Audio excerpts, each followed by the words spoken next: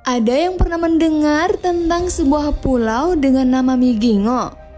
Nah, Pulau Migingo ini terletak di tengah Danau Victoria, danau terluas di Afrika.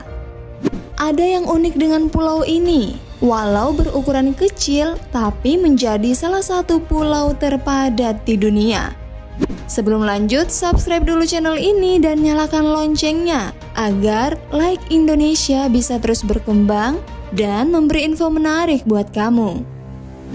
Pulau Migingo memiliki luas sekitar 2000 meter persegi atau setara dengan setengah luas lapangan sepak bola.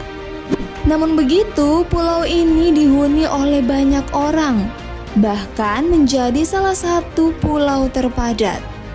Menurut catatan penduduk, ada sekitar 500 orang yang tinggal di pulau ini. Rumah-rumah yang ada di pulau ini sangat padat. Jalanan utama bukanlah jalanan yang lebar. Jalanan di sana hanya berupa gang-gang kecil yang diapit rumah-rumah penduduk. Meski kecil dan padat penduduk, di pulau ini ternyata ada beberapa fasilitas seperti apotik, salon, dan hotel-hotel kecil. Sebagian besar penduduk di Pulau Migingo ini bekerja sebagai nelayan. Maka dari itu, kita bisa melihat banyak perahu-perahu nelayan yang diparkir di sekitar pulau ini.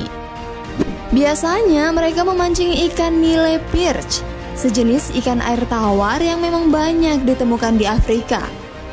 Selain itu, beberapa orang di pulau ini juga bekerja sebagai penjual ikan nile perch.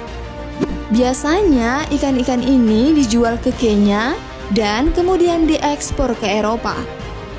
Walaupun berukuran kecil, ternyata Pulau Migingo menjadi rebutan dua negara, yaitu Kenya dan Uganda.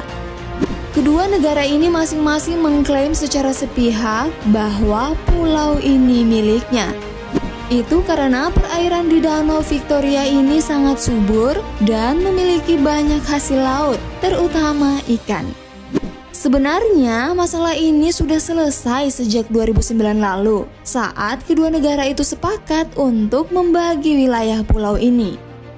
Sayangnya karena pulau ini masih satu kesatuan, konflik kecil masih terus terjadi sampai sekarang.